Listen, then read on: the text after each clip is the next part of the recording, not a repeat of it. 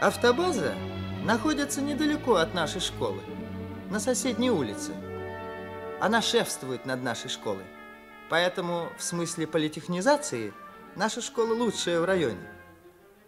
На автобазе мы проходим производственную практику. Мне эта практика вообще не нужна. У меня нет технических наклонностей. Если меня что и интересует, то это только поводить машину.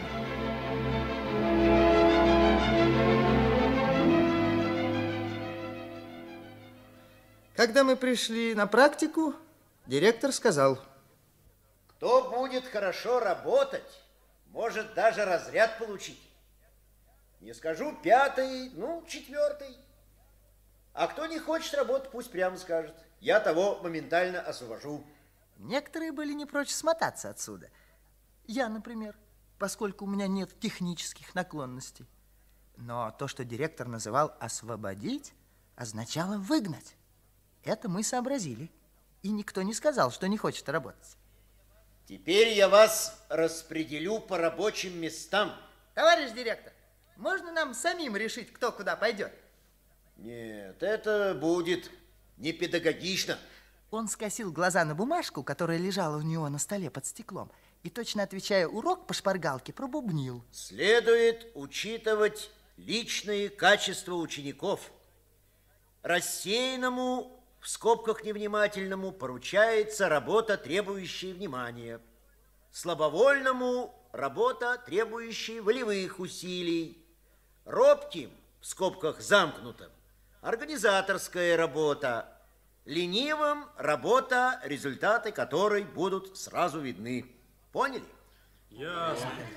А у нас таких нет. Каких таких? Рассеянных, в скобках невнимательных, робких, в скобках замкнутых, слабовольных и ленивых. А вот что касается ленивых, товарищ директор, то как вы их узнаете, а? Да, пожалуй. Этим вопросом я сразу поставил директора в тупик. Выручил его Игорь. Игорь у нас самая выдающаяся личность. Наша классная руководительница Наталья Павловна всегда ставит нам Игоря в пример. Его поразительную воспитанность трезвый ум. На самом деле Игорь большой дипломат. Игорь подмигнул нам, мол, не беспокойтесь, сейчас я этого дядю окручу. Владимир Георгиевич, вы хотите распределить ребят согласно их склонностям и интересам? Вот именно. Ну, тогда позвольте нам это обсудить. Мы каждому наметим цех согласно его склонностям и интересам. Да, да. Ну что ж, ты дело говоришь. Но вы будете мудрить. Да нет, И мы стали распределяться по цехам.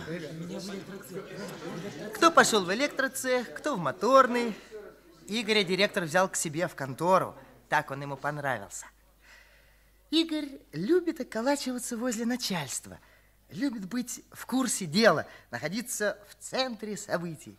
Он ходит по цехам с большой блестящей папкой и заполняет какие-то бланки. Майка, а где ты будешь работать? Мы с Надей Флёровой записали свободный цех. Будем там ремонтировать сиденья, шить брезентовые покрытия, инструментальные сумки. Майка, иду!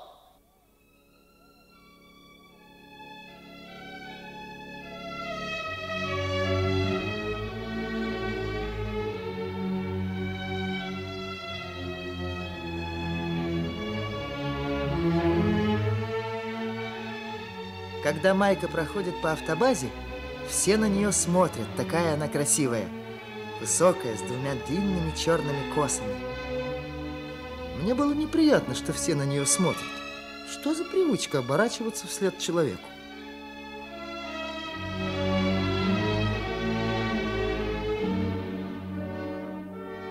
Мне и Шмакову Петру здорово повезло. Мы попали в гараж. Как ты думаешь, Шмаков, Дадут нам здесь поездить? Дадут. Для этого надо что-то делать. Успеем. Но так же вся практика пройдет. Присмотреться надо. Но сколько мы не приглядывались, никто и не думал давать нам руля. Никто даже не знал наших имен. Меня называли сначала пацан. Эй, пацан, а ну-ка, пацан, А когда услышали, что ребята зовут меня Крош, тоже стали звать меня Крош. А некоторые даже Кроша. Эй, Кроша! Ну-ка, Кроша!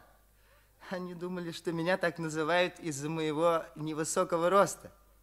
На самом деле, Крош – это сокращенное прозвище от моей фамилии Крашенинников. В школе всегда ведь сокращают фамилии, тем более такую длинную, как моя. Вот и получилось Крош.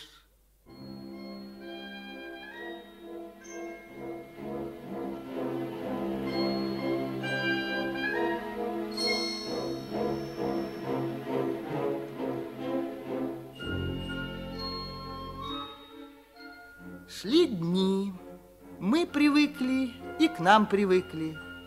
Теперь мы здесь свои. Вахтер даже пропуск не спрашивает. По утрам так не хочется вставать, но что-то толкает тебя. Вставай, вставай. Нехорошо, неудобно. Опоздаешь на какие-нибудь 20 минут, окажется, что все работают давным-давно. Каждый на своем месте делает свое дело, и ты оказываешься лишним. И не знаешь, что было с утра. Может, ничего не было, а может, было.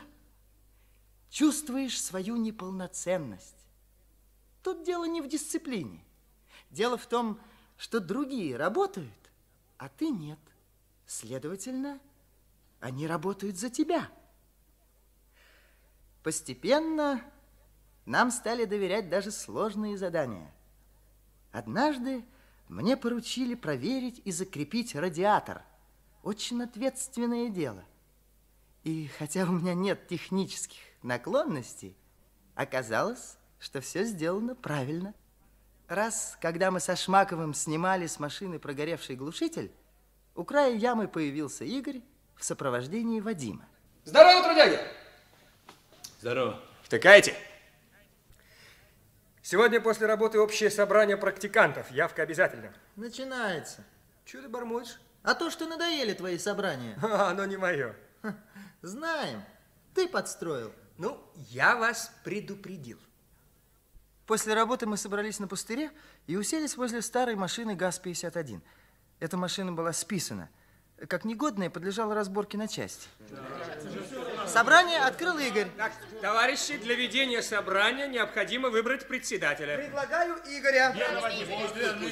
Игоря у нас всегда выбирали председателя. Ну так, хорошо. Тихо.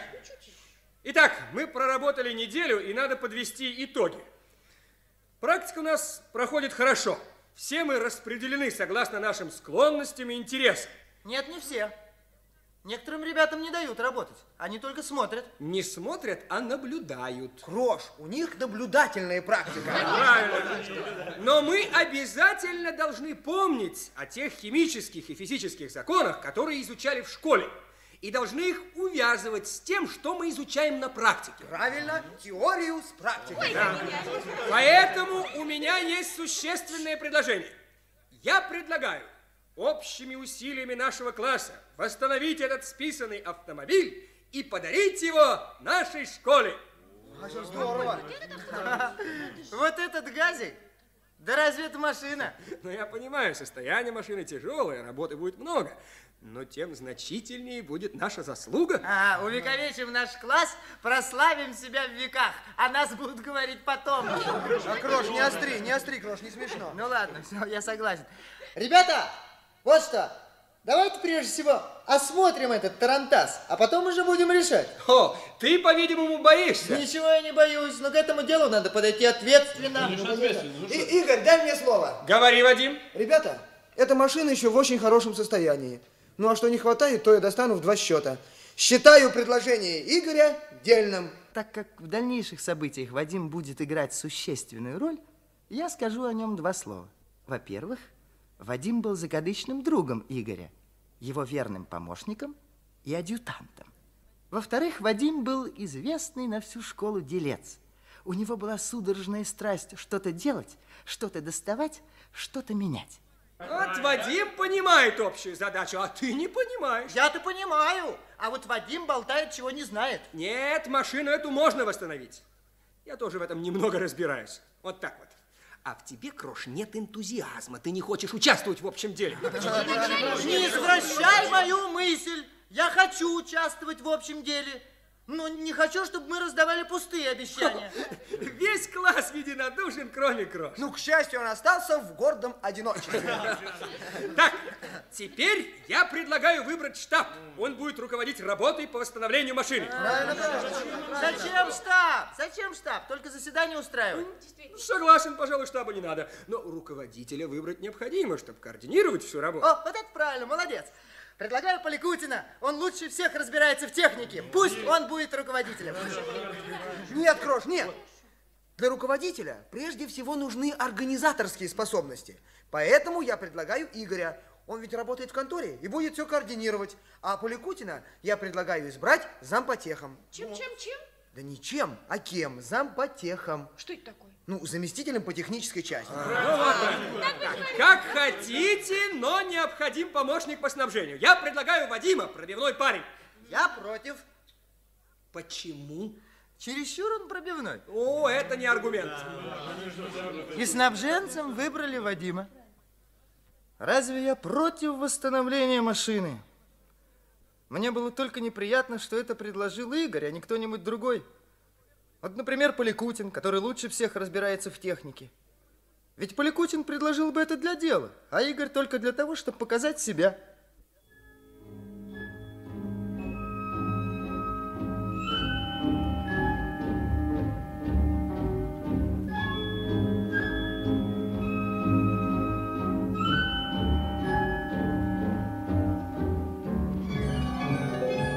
После работы мы собрались на пустыре. Я, Шмаков Петр, Поликутин, Гринько из электроцеха, Таранов из агрегатного. Я позвал их, чтобы посмотреть этот несчастный драндулет. Мы подняли капот и осмотрели двигатель. Он был грязный, без свечей, без ремня. Вообще какой-то пустой. Ну, Поликутин, что скажешь? Я не могу сказать, в каком состоянии двигатель. Его надо снять и разобрать. О, и коробку скоростей надо снять, и задний мост, и передний мост. Снять и разобрать, тогда мы увидим, в каком они состоянии. На машине нет никакого электрооборудования. О, щиток украли, и подушки сперли. Да, все приборы растащили. Что же делать? Что, ребята, машину осматриваете? Ага. Осматриваем, товарищ Зуев. В этой машине толку не будет. Легче новую собрать.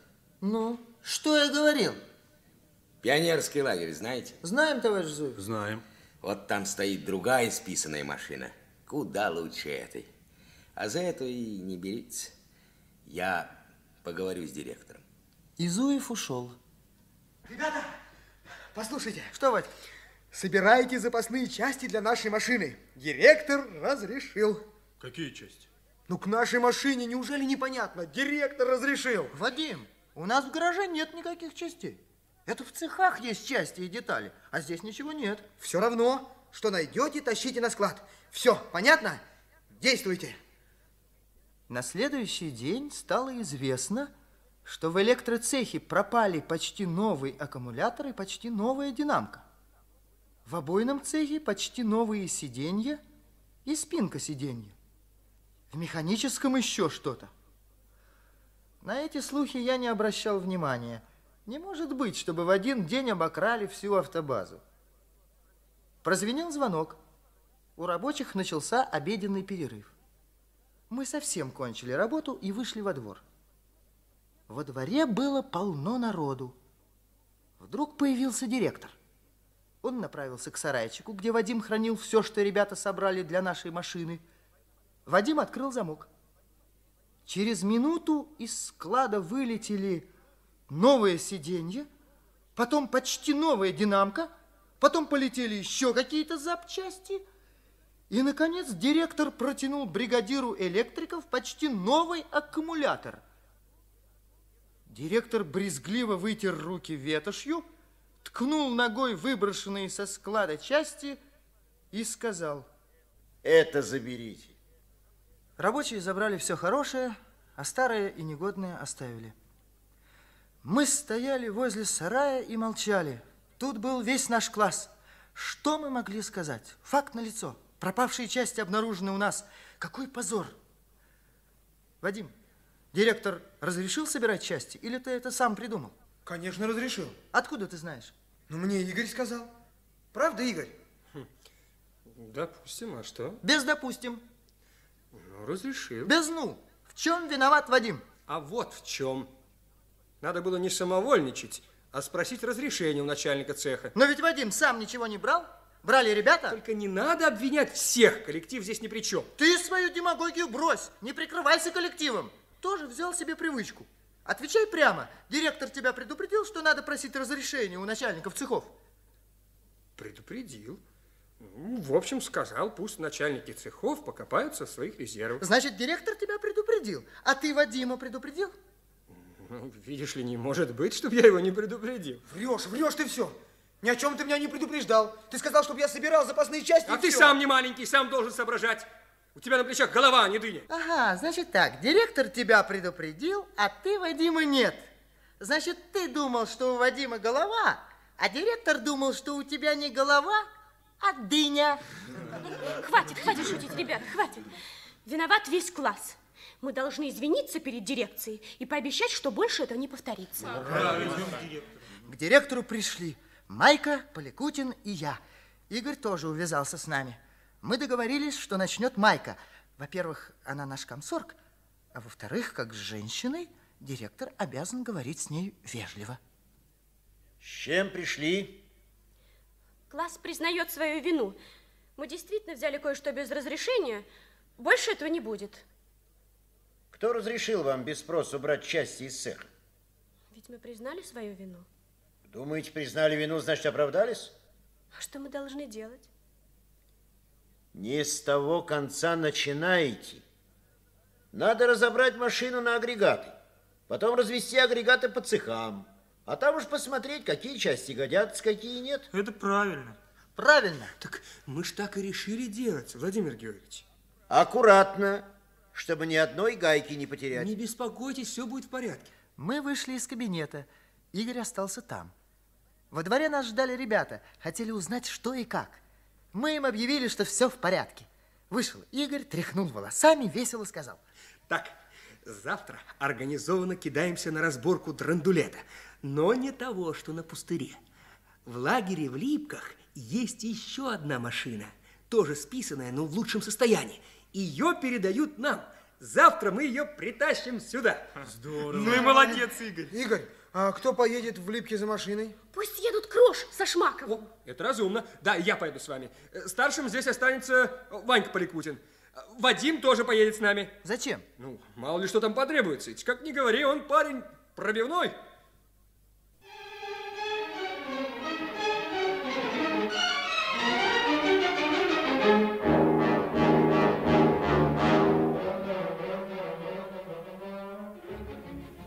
Отправились в Липки с шофером Ивашкиным. Ему поручили прибуксировать нашу машину. Кроме него с нами ехал Зуев. Он должен вести вторую машину. Мы ужасно расстроились, потому что рассчитывали сами вести вторую машину. Ивашкин и Зуев ехали в кабине, мы в кузове. Сидели, прислонясь спиной к кабине, глазели по сторонам и возмущались тем, что с нами послали Зуева.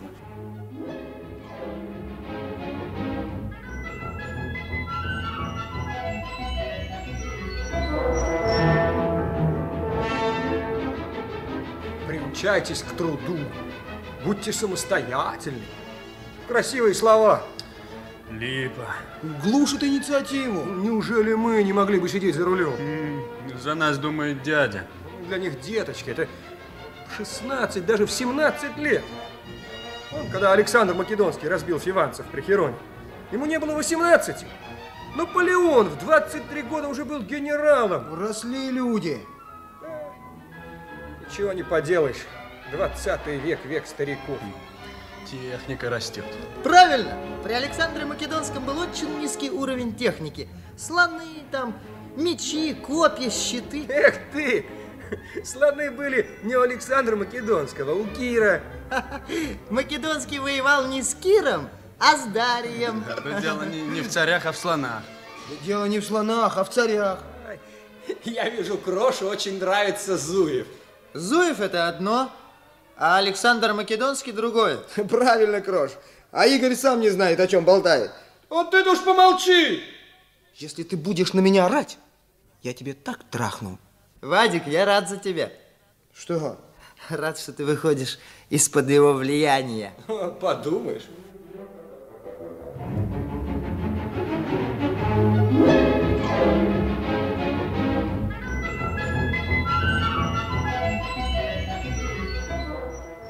Наконец мы доехали до Липок.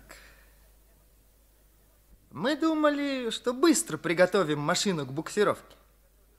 Это оказалось не так просто. Я понял, что без Зуева мы бы ничего не сделали. Ивашкин никакого участия в работе не принимал. Посидел немного и ушел. Часа, может быть, через три мы закончили работу. Устали смертельно, проголодались и объявили Зуеву, что идем в лагерь обедать. Когда мы вернулись, машины стояли на своих местах. Ребята, а Ивашкин где? А мы его не видели, товарищ Зуев. Никуда не уходите, я его сейчас поищу. Хорошо. Как только Зуев ушел, мы с Игорем бросились к машине Ивашкина. Каждый из нас старался первым захватить кабину. Мы одновременно открыли дверцу и стали толкаться, оттесняя друг друга. В конце концов, оба ввалились в кабину и уселись. Я против руля, Игорь сбоку. Тут я увидел, что Игорь, не отрываясь, смотрит на щиток. Я проследил за его взглядом. И все дальнейшие события начались с той секунды, когда наши взгляды сошлись в одной точке. Ивашкин оставил в кабине ключ зажигания.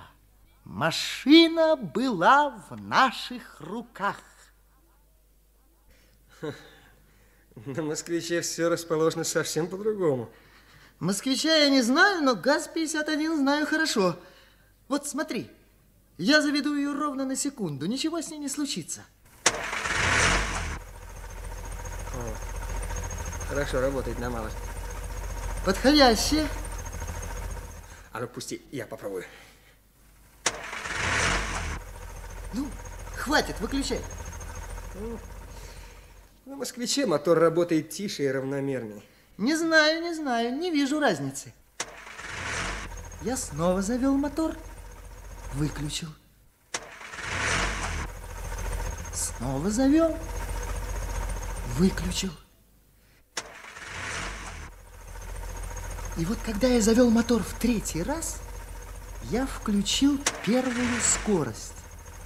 И потихоньку, отпуская сцепление, начал прибавлять газ. Машина медленно и плавно двинулась вперед. Тут же я начал переводить на вторую скорость. Машина дернулась и остановилась. Мотор заглох. Не блеск. Раскатываетесь? А ну пусти меня. Придет Ивашкин и будет дикий скандал. За меня не беспокойся, за себя лучше беспокойся. Игорь завел машину, доехал до ворот, вернулся задним ходом, опять поехал до ворот, опять вернулся, потом поехал по направлению к той машине, которую мы должны были буксировать в Москву. Остановился возле нее, высунулся из кабины и крикнул. Привязывай буксир! Ты что, с ума спятил? Не беспокойся. Мы только привяжем трос и все приготовим. Шоферы нам спасибо скажут. Давай, Шмаков, привязывай. Вадим, помогай. Шмаков и Вадим схватили буксир и начали его привязывать. Я понял, что будет дальше. Игорь вошел в азарт. Вадим со Шмаковым Петром тоже вошли в азарт. И, конечно, мы хоть немножко да протащим машину. А раз так, я вовсе не желаю оставаться в дураках. Я быстро влез в кабину второй машины и сел за руль. Если я буду зевать, то Вадим или Шмаков перехватят у меня и этот руль. Так, Ты, Вадим, встань на подножку Крошу. Хорошо. Ты, Шмаков, ко мне. Будете передавать сигналы. Крош, ты готов? Готов!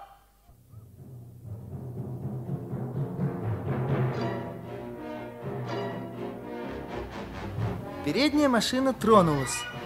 Трос натянулся, моя машина дернулась и тоже пошла вперед. Справа от дороги тянулся лес, слева овраг и довольно глубокий. Игорь поехал быстрее, потом дернул, когда переключал скорость. Мою машину вдруг потянуло вправо. Я крутанул руль влево. Игорь опять дернул. Мою машину закинуло налево. Я стал изо всех сил выворачивать руль, но руль меня не слушался. Я закричал «Останови!». Вадим замахал руками, но Игорь не останавливался. Я нажал на тормоз. Было уже поздно. Моя машина накренилась и начала сползать во враг. Передо мной мелькнуло испуганное лицо Вадима. Он соскочил с подножки и покатился вниз. Моя машина ползла и наклонялась все больше и больше. Я упал с сиденья на дверцу. Моя машина лежала на боку в обрыве, привалившись кузовом к дереву. Но удерживало ее не дерево, а трос, привязанный к машине Ивашкина. Он был натянут, как струна. Моя машина висела на нем. Я осторожно подтянулся и, упираясь одной ногой в сиденье, другой в руль, вылез из кабины. Машина Игоря стояла на дороге. Игорь, высунувшись из кабины, смотрел на меня. Он был бледен. На подножке стоял Шмаков Петр. Он не был бледен. Внизу стоял Вадим. Он стоял почти на дне оврага, и я не видел, бледен он или нет. Крош, ты жив? Умер. Что случилось? Сам не видишь? Но как это произошло? Черт тебя знает. Ты стал дергать, а машина потеряла управление. К когда я стал дергать? Тогда. Вадим кричал, чтобы ты остановился, а, а ты перся вперед. Неправда, я тут же остановился. Интересно. Кто же это меня тащил по обрыву 20 метров? Пушкин? Ну, как ты не удержал руля? Я-то удержал. Только машина перестала слушаться. Может быть, мне и в рулевое управление не в порядке? Ведь мы эту машину не знаем. Буксировать не надо было. Вот что.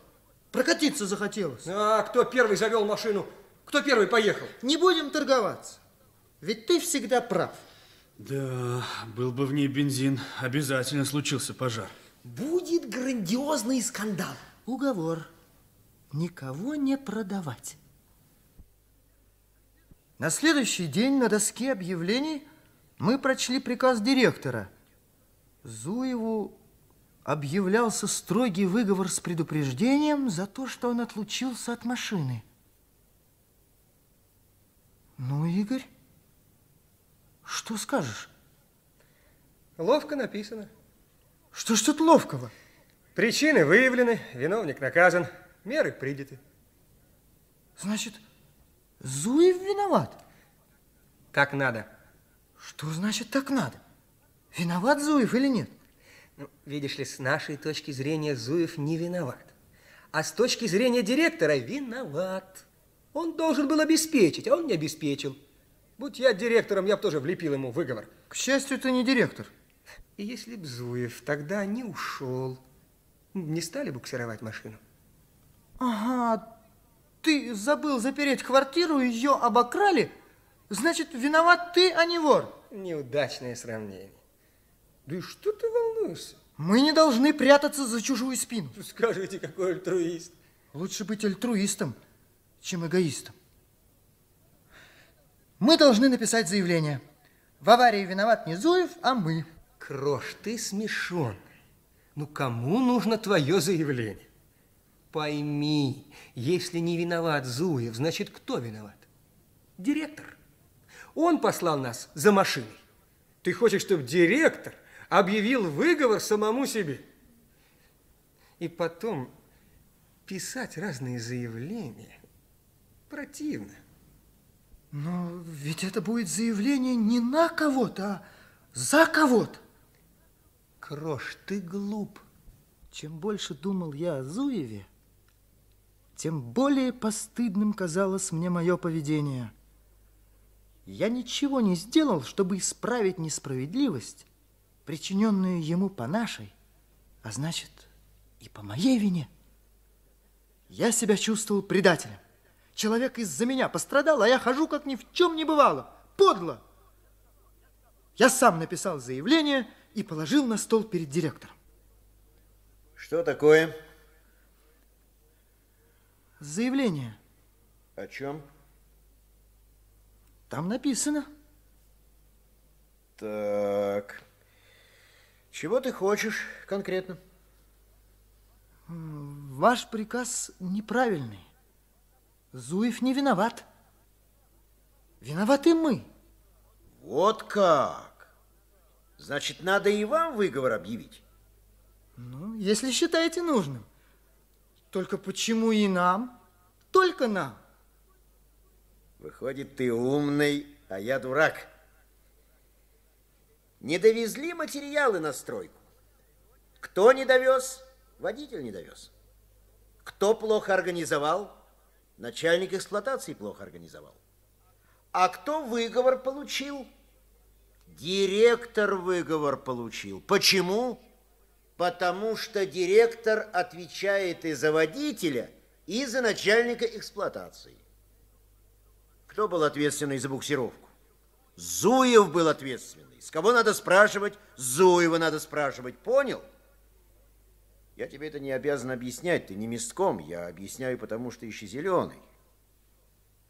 А теперь иди, меня люди ждут. Я вернулся в гараж. Наладил тебя директор?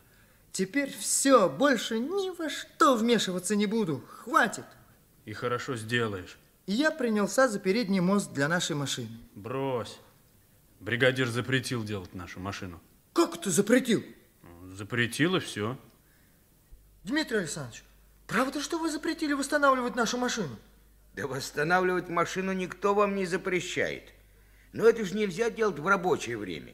Ведь за вашу машину тут не начисляют зарплату. Вот вы со Шмаковым два дня проездили в Липки. Наряды вам на поездку не выписали. А зарплату ведь вы получили за счет бригады. Разве это правильно? Ой, конечно, неправильно. Происходит неувязка. Мне было интересно знать, как намерен действовать штаб в создавшейся обстановке.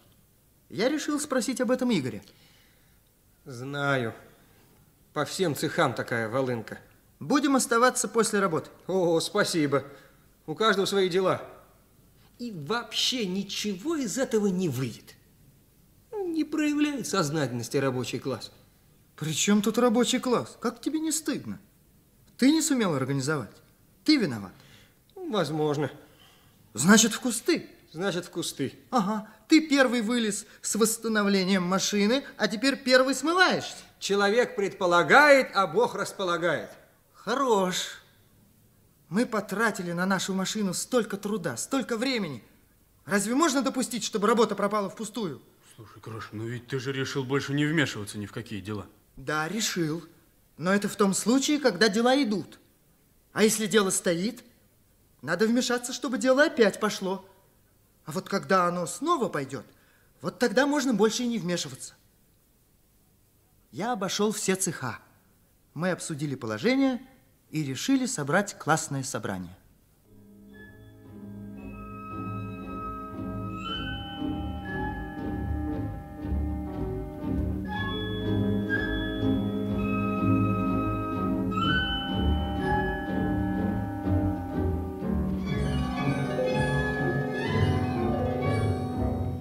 Как у нас уже повелось, мы собрались на пустыре.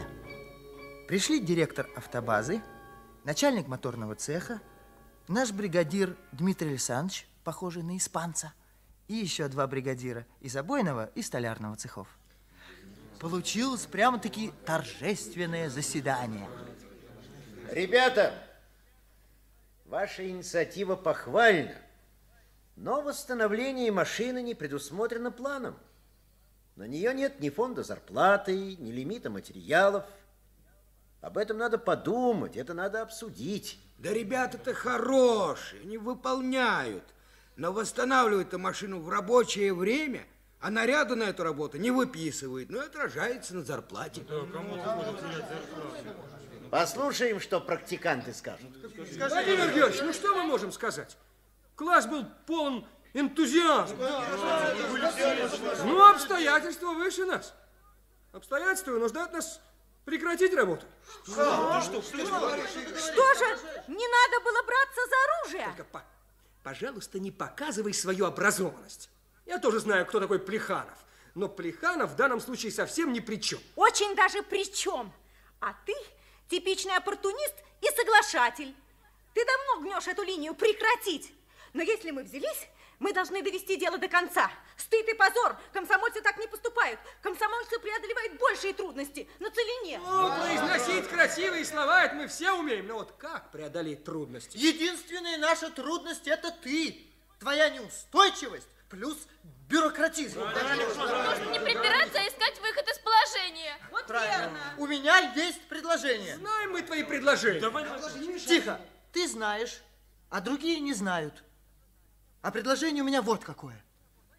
Давайте закончим машину после работы. Ну, неужели мы не можем 10 дней поработать по два лишних часа? Ну, конечно, можно. Пожалуй, можно. Только ненадолго, верно? Да, Останемся здесь. И вам не стыдно, товарищи бригадиры? Школьники согласны работать в общественном порядке, а мы, шефы, не хотим им помочь. Ваши дети будут обучаться на этой машине. Плохие вы родители. Ну, если ребята будут делать машину в нерабочее время, мы же им поможем. Но вот вы скажите, как же быть с материалом? Ну, поскольку вопрос упрощается, то мы, начальники цехов, э, изыщем некоторые материалы из внутренних ресурсов. Но, но, но, но как быть с дефицитом? Ну что ж, если ребята будут работать сверхурочно, если рабочие будут помогать им в общественном порядке, если начальники цехов изыщут внутренние ресурсы, то дефицит мы отпустим в порядке шефской помощи школе. Главное, чтобы это мероприятие в основе носило общественный характер. Основу, в сущности, предложил никто иной, как я. Но я не стал об этом думать понимал, что во мне говорит пустое тщеславие. Мы думали, что после собрания восстановление нашей машины пойдет медленнее. Ведь раньше мы ее делали в течение рабочего дня, а теперь только два часа после работы. Получилось наоборот, гораздо быстрее. Рабочие стали больше помогать. Вокруг нашей машины толкались люди, даже директор, честное слово – я думаю, это происходило от того, что директору было приятнее сидеть во дворе на солнышке, чем в прокуренном кабинете. Но просто сидеть во дворе неудобно, а сидеть возле нашей машины удобно. Она общественная.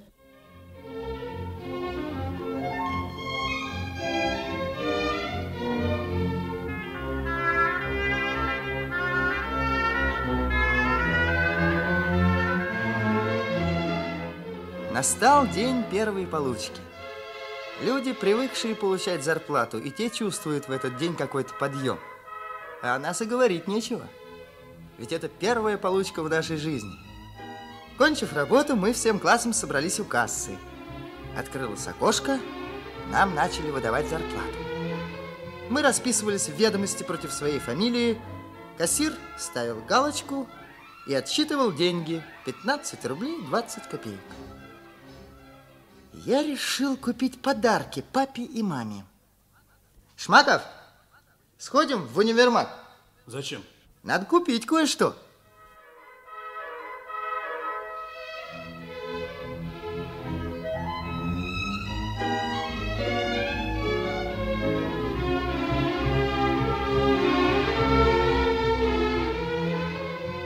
В спортивном отделе универмага больше всего нам со Шмаковым Петром понравились спортивные брюки. Синие, трикотажные, с резинками внизу. В них у человека исключительно спортивный вид. Покупаем. Ну, Я пошел платить. На Шмакова надо воздействовать силой собственного примера.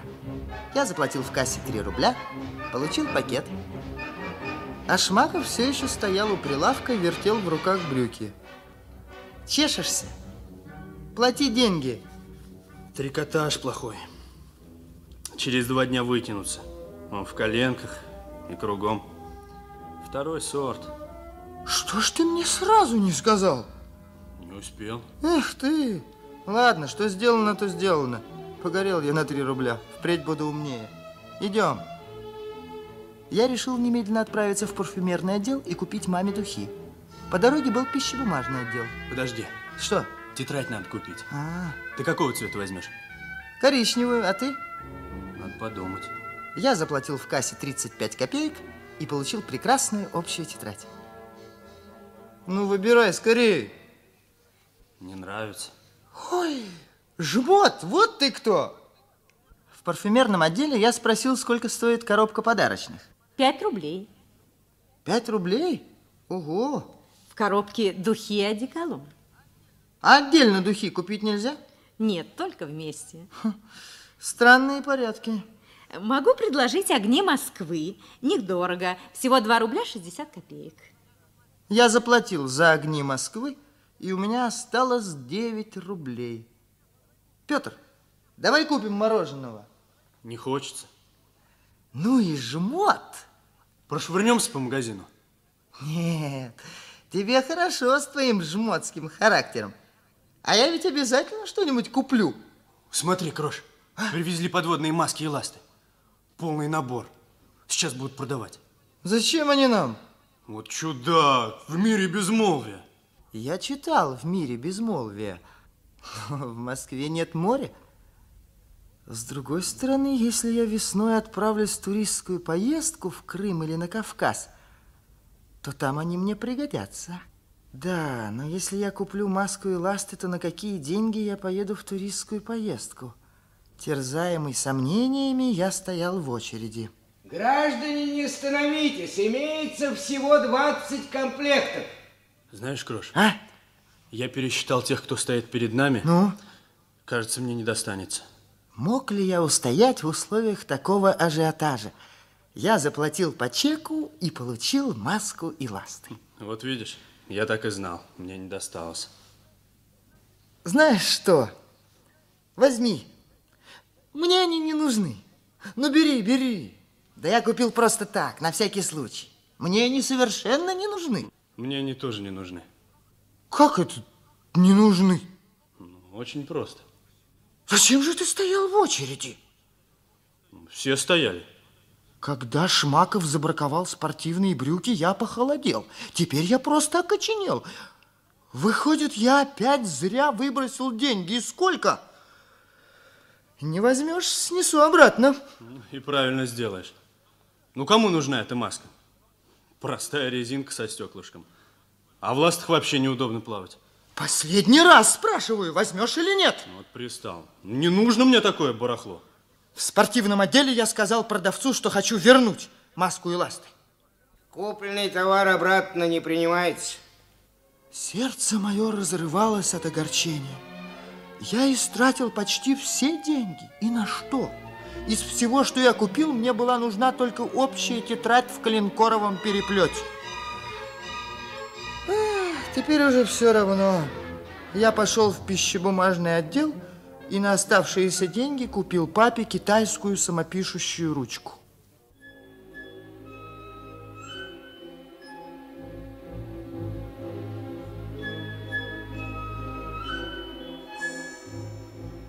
Сегодня кончается наша практика. Я рано пришел на работу. Машины еще только выезжали на линию. Я подумал, как странно. Завтра мы будем свободны, как птицы. Можем спать, сколько влезет. Можем делать что угодно. Через неделю я еду с мамой в Касимов. Буду купаться в оке. И все же мне было грустно. Мне было грустно при мысли, что я не буду больше приходить сюда ранним утром, не буду переодеваться у своего шкафчика, как все рабочие. Не буду слушать их шуток и разговоров. Не буду равнодушно говорить бригадиру Дмитрию Александровичу. Кончил, проверяйте. Я, наверное, скоро отвыкну от запаха бензина. По правде сказать, никто из нас сегодня не работал. Из дирекции прибежал Игорь. Внимание, ребята, внимание! Приказ директора автобазы. Всем практикантам объявляется благодарность за хорошую работу. Всем присваивается третий разряд. Объявляется благодарность Зуеву за хорошую помощь в восстановлении машин. Выговор, объявленный Зуеву за аварию в Липках, снять.